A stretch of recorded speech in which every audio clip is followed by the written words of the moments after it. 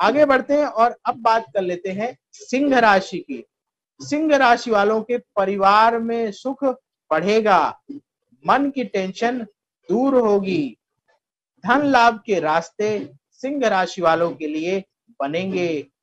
क्रोध से बचना होगा। क्रोध आपके बनते हुए कार्यों को बिगाड़ सकता है। इसलिए आपको ध्यान रखना है कि क्रोध पर नियंत्रण रखना है, गुस्सा नहीं दिखाना है। सिंह राशि वालों के लिए शुभ रंग है मरून। मरून रंग का प्रयोग करेंगे तो आपका लक और बढ़ जाएगा, कार्यों में सफलता की प्राप्ति होगी। उपाय क्या करें?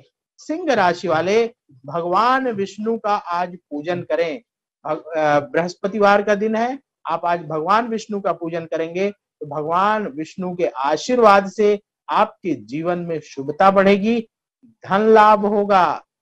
तो विष्णु जी का पूजन आज सिंह राशि वालों को करना है।